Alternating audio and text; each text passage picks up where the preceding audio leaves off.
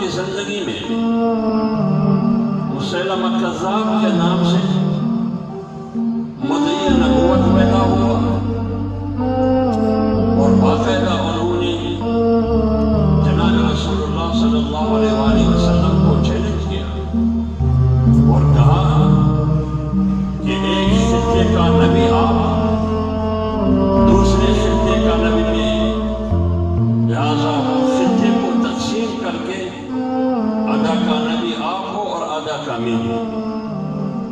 جب پیغمبر کی زندگی میں مسلمہ کذاب نے دعوی نبوت کیا تو اسی وقت جناب رسول اللہ صلی اللہ علیہ وآلہ وسلم نے مسلمہ کو کذاب قرار دیا۔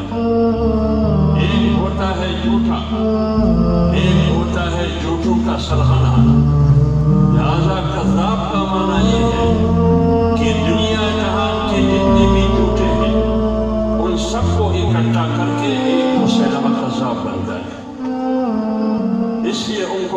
کو یہ اس وقت سے یہ مسئلہ شروع ہے۔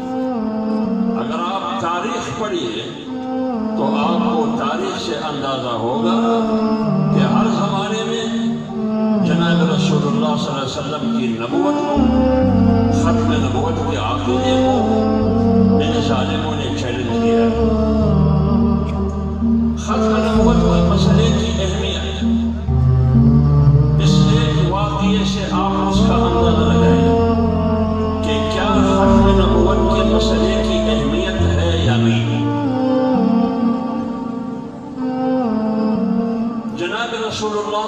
علیہ وسلم کے زمانے میں، ان کی زندگی میں جتنے بھی غزوات ہوئے، دشمن سے جتنی بھی جنگیں ہوئی ان تمام غزوات اور ان تمام جنگوں میں آپ کو پتہ ہے کتنے لوگ، کتنے مسلمان شہید ہوئے۔ دو سو انسٹھ۔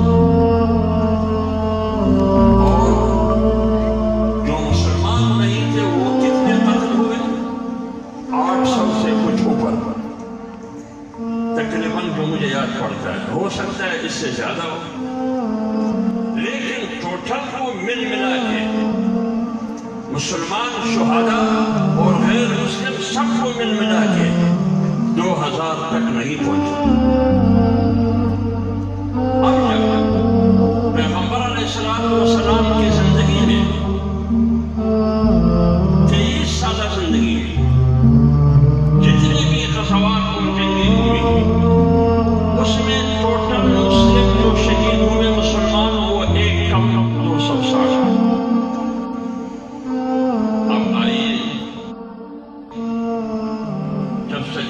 اکبر رضی اللہ تعالیٰ عنہ کے زمانے میں وہ خلیفہ تھے۔ پیغمبر علیہ السلام والسلام دنیا سے رانت کر چکے تھے۔ تو مسلم کذاب جب راہ راست پر نہیں آیا، تو ان کے لیے جو لشکر بھجوایا کہ مسلم کذاب کو اب سبق سکھانا ہے۔